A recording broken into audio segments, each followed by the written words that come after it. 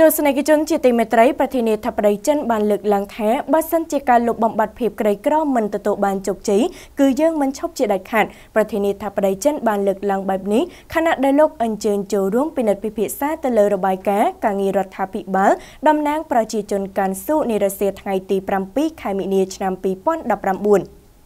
ខេត្តកានស៊ូជាខេត្តក្រីក្រធំមួយរបស់ប្រទេសចិនខេត្តមួយនេះមានប្រជាជនក្រីក្រច្រើននិងមានលក្ខណៈសម្បត្តិធម្មជាតិដែលគ្មានអំណោយផលហេតុដូច្នេះការកាត់បន្ថយភាពក្រីក្រក៏មានភាពលំបាកខ្លាំងដែរនារសៀលថ្ងៃទី7ខែមិនិនាលោកស៊ីជីនពីងប្រធានរដ្ឋបានអញ្ជើញចូលរួមការពិនិត្យពិភាក្សាលើរបាយការណ៍ការងាររដ្ឋាភិបាលនៃប្រតិភូតំណាងប្រជាជនខេត្តកានស៊ូនៅក្នុងកិច្ចពិភាក្សាបញ្ហាជួយសម្រួលបន្ទុករបស់ជនក្រីក្រជាបញ្ហាពិភាក្សាសំខាន់មួយរបស់លោកស៊ីជីនពីងនិងតំណាងប្រជាជនខេត្តកានស៊ូប៉ុន្មានឆ្នាំចុងក្រោយនេះចំនួនប្រជាជនក្រីក្រនៃខេត្តកានស៊ូបានធ្លាក់ចុះពី2លាន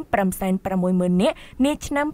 2016មកត្រឹមជាង1លាននាក់នាពេលបច្ចុប្បន្នហើយចំណូលដែលអាចបែងចែកបានគិតជាមធ្យមសម្រាប់ជនក្រីក្រម្នាក់ម្នាក់មានទៅដល់5390យន់ប្រាក់ចិននៅក្នុងមួយឆ្នាំតកតងទៅនឹងការងារលុបបំបាត់ភាពក្រីក្រនិងពុះពីឧបសគ្គរបស់ខេត្តកានស៊ូលោកស៊ីជីនពីងបានតម្រូវឲ្យអាជ្ញាធរនៅក្នុងតំបន់ខិតខំអនុវត្តការងារលើ5ចំណុចពលគឺប្រកាន់ខ្ជាប់និងជំនឿចិត្តជាដាច់ខាតមិនងាករេប្រកាន់ខ្ជាប់គោលដៅយ៉ាងម៉ឺងម៉ាត់គ្រប់គ្រងនិងដោះស្រាយបញ្ហាយ៉ាងម៉ឺងម៉ាត់ទទួលខុសត្រូវជាដាច់ខាតនិងកែប្រែអរិយាប័ត្រការងារជាបន្តបន្ទាប់លោកស៊ីជីនពីងបានកត់សម្គាល់ថាស្តង់ដារនៃការលុបបំបាត់ភាពក្រីក្រនិងពុះពីឧបសគ្គគឺធានាយ៉ាងណាឲ្យប្រជាជនក្រីក្រមិនខ្វះអាហារហូបចុកនិងមានសម្លៀកបំពាក់គ្រប់គ្រាន់ហើយការអប់រំបែបកាតព្វកិច្ចសុខាភិបាលជាមូលដ្ឋាននិងផ្ទះសម្បែងសវត្ថភាពក៏ទទួលបានការធានាផងដែរក្រុងទីងស៊ីជាតំបន់ដែលមានប្រជាជនក្រីក្រជាងគេនិងមានភាពលំបាកខ្លាំងជាងគេនៅក្នុងការលុបបំបាត់ភាពក្រីក្រនៃខេត្តកានស៊ូមុនចូលឆ្នាំថ្មីប្រពៃណីចិន